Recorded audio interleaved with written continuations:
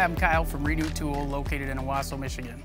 In this video, I'm going to introduce, explain, set up, and show you how to maintain the PB2500N battery tool from Stanley Engineered Fastening. As a repair technician, I see this tool being used a lot in the solar industry to install solar panels using the quarter inch Stanley NeoBolts, Huck bobtails, and Michon fasteners. I'm to start by saying for each individual brand of fastener, there's a specific nose assembly needed for proper installation, all of which we stock. This is the Stanley NeoBolt fastener with a Stanley collet, Stanley nose housing, and a Stanley anvil. This collet has got a single tooth ledge in here, which is designed for this fastener. This Huck bobtail, this collet, is double toothed, so it will not work with the Stanley fastener. Now the Michon fastener is a different length and the collet is a different length. It does look identical to the Stanley, but it will not pull the Stanley NeoBolt. Again, this is based on the specific fastener you intend to use. First, we'll set up the tool. For this demonstration, I'm gonna be using the Stanley's quarter inch NeoBolt for my fastener and Stanley's quarter inch nose assembly on the front of this tool. Here are the components. So we have the base tool, the battery, the nose housing, the anvil, the collet, and the nose housing nut. Next, I'm gonna show you how to set the stroke setter. First, we're gonna remove the nose housing nut.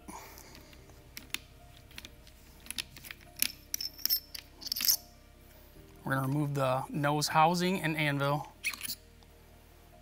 Now we're gonna remove the puller or the collet. Determine your application pin stickout length in millimeters. So I have a set of calipers. And for this demonstration, I'm gonna use three washers as my thickness. So what you wanna do is measure the remaining height you have. Caliper zeroed out, 17 millimeters of travel. So I'm gonna refer to the manual on page 11 and it's telling me 10 clockwise rotations. So what I'm first gonna do is back the stroke setter flush with the clutch. You can see it's flush. And then I'm gonna go clockwise 10 rotations.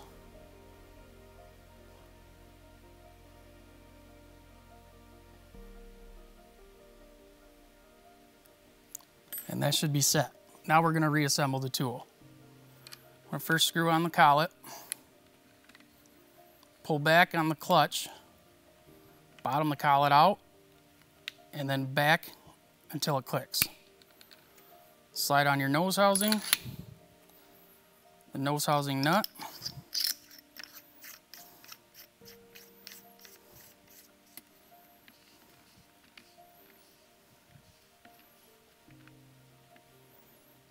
the anvil.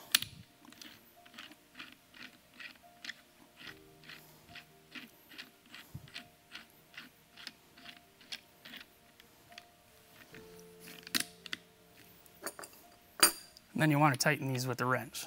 Okay. Now that we have the stroke set up, we're gonna go ahead and test the fastener real quick. We're gonna slide the collar on.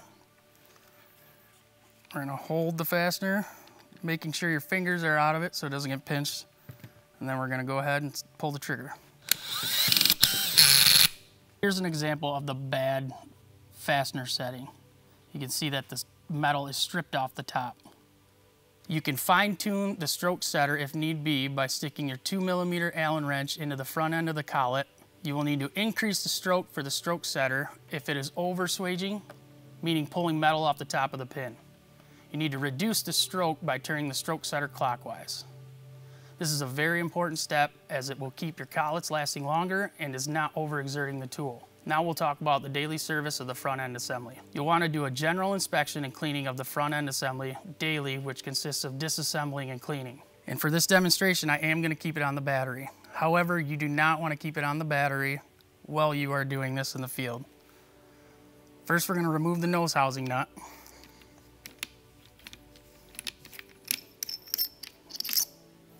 We're to remove the nose housing and anvil.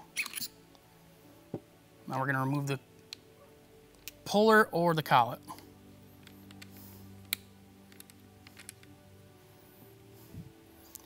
You want to look at the threads on the clutch and make sure there's no chips or debris on the head of this. And if there is, wipe it with a clean microfiber towel. Next, you'll want to inspect the collet and you'll want to check in all the cracks and crevices for chips or debris. If there is debris in there, you can wipe it out with a wire brush or blow it out with a compressed air. Next, you'll want to unscrew the nose housing and the anvil.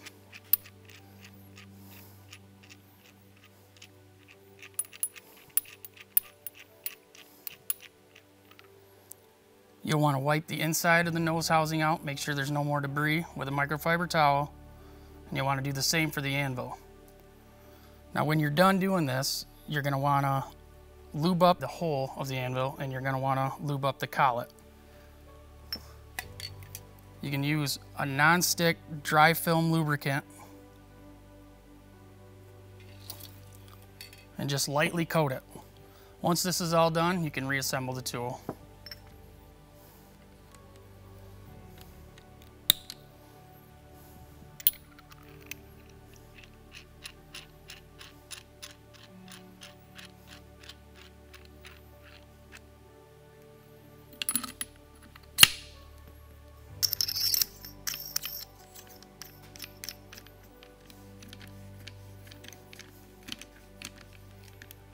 Now we'll be servicing the pulling head assembly.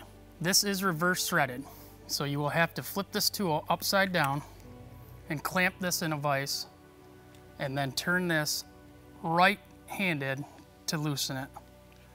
And again, I am using this battery on this tool for display purposes only. Do not do this in the field. I've already went ahead and loosened this. So now we're gonna take it out. We're gonna pull the nose housing mass off. This is a brand new pulling head assembly, so I know it's clean. But if it was in the field and I was to take this apart, I would wipe this down with a microfiber towel, get all the old grease out of it, make sure there's no debris, um, chips, dirt, anything like that. Um, and then I would lube it back up with some Molykote G400 or an equivalent grease. So now I'm going to remove what we call the back end. We're going to pull that out. There's a wave washer in here that we're going to pull out. We're going to pull the thrust washer off. We're going to pull the needle bearing off. And then we're going to separate the clutch. And then we're going to pull out the spring. So now it's empty and we're gonna go ahead and wipe this all down with a microfiber towel. Again, this is a brand new tool, so I know this is all clean and greased. But if it was out in the field, I would wipe it off with a microfiber towel and put a thin coat of Molykote G400 grease or an equivalent. Next, we're gonna reassemble it. I'm gonna show you how to do that. We're gonna go ahead, and push the wave washer in. We're going to assemble the back end clutch. So we got the needle bearing or the thrust bearing, thrust washer,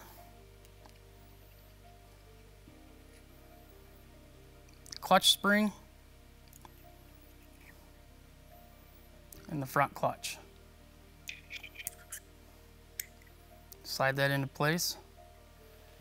Make sure your keyway is in place. And I also dab a little grease on it so it doesn't fall out. we're gonna slide it back in the tool, rotate it till it falls into place.